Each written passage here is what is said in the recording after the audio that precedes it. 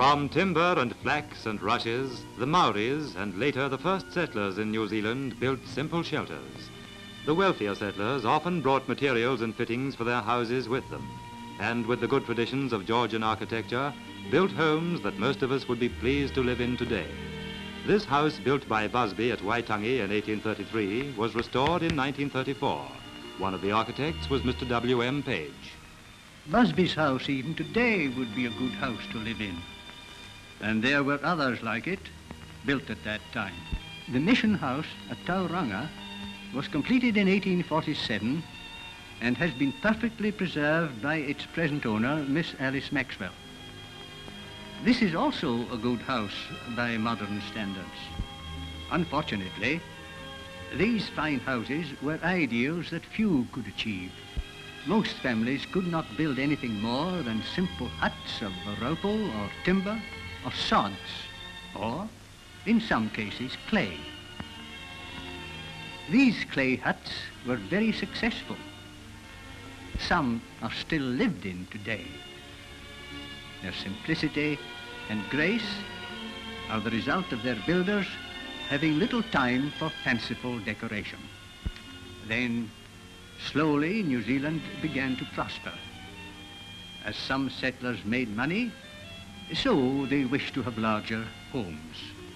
In some cases, they wanted people to know how much better off they were than their fellows. So they built large, pretentious houses that were often made to resemble something they were not. Houses were small imitations of castles and Eastern temples. Poorer people followed the trend and put false fronts on their houses to make them look bigger. Wood was made to look like stone, and cut-out wooden scrolls and ironwork were added for no real purpose except to make the house look more elaborate.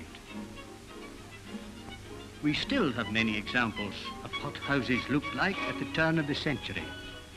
Inside, they had narrow, dark passages, and the best room and the drawing room faced the street, even if there was no sun on that side of the street at all. It was more important to be conventional than to be comfortable. Later, we became modern and had equally complicated and meaningless designs with lots of ornamentation. But because we used straight lines, we thought it gave us a right to laugh at the Victorians. I'm afraid none of these so-called improvements have given us the simplicity, repose and grace the houses that had been built 100 years before.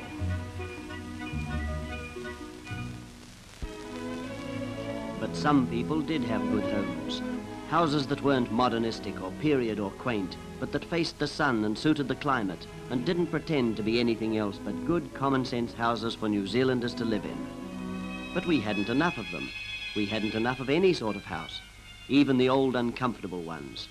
We had people crowded up in old out-of-date houses in busy streets. A nation's prosperity isn't measured in exports and show and false fronts. It's in the way people live and in how much sun they get, where the kids grow up and in how the sanitation works.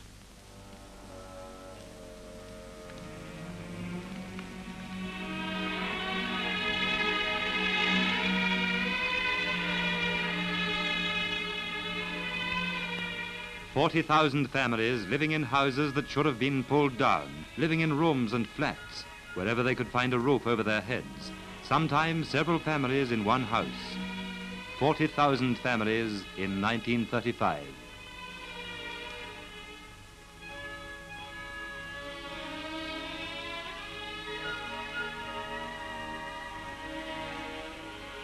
As economic conditions improved, they looked for better accommodation.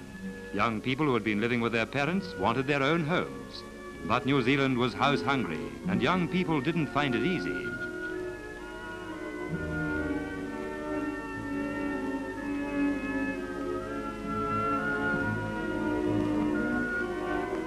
A house would cost, say, £1,600. I presume you haven't that amount in cash? Well, most of us haven't. You could borrow the money on mortgage by obtaining either a private loan, a building society loan, or a state advances loan. And what, uh, what cash would we need to have? Well, for what you want, you could manage on, say, 200 pounds. 200 pounds, but we haven't got that much money. We've only about uh, 100 pounds. And with the baby coming, there'll be all I don't see how you could manage with less. You'd have to buy a section. But with the baby, we'll have to have some way to live. It's very difficult, isn't it? I don't know. You might find a builder who has built a house on spec. They sometimes build four or five at a time. He might sell you one on a small deposit. I really can't suggest anything else.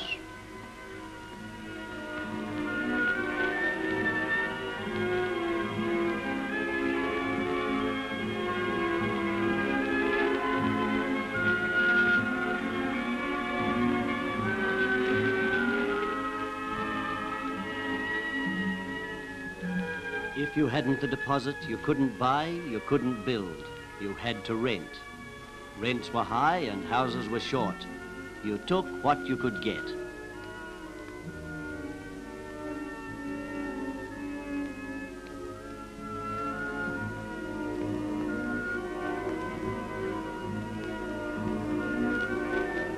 One room's no place for a baby, but it's a roof, isn't it? It's a dining room, it's a kitchen, it's a nursery and a front hall and a laundry and a playroom and a living room. It's a room.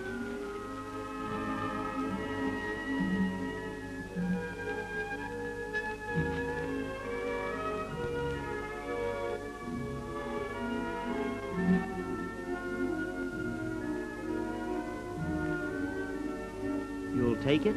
Yes, you'll take anything when you're house hungry. Don't be fussy. It's a roof over your head, isn't it?